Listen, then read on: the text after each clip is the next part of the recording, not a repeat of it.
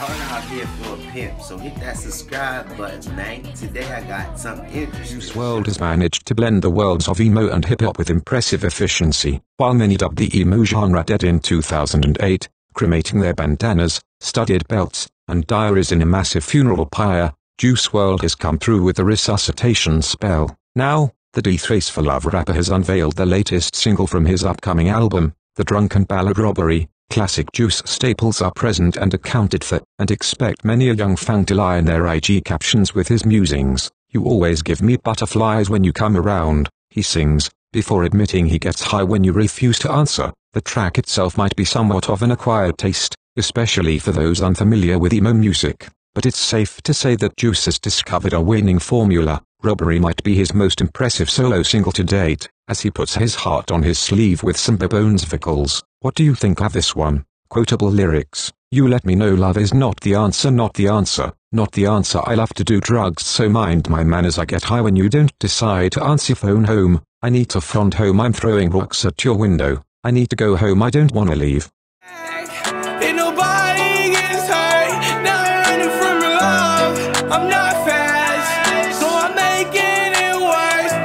Digging up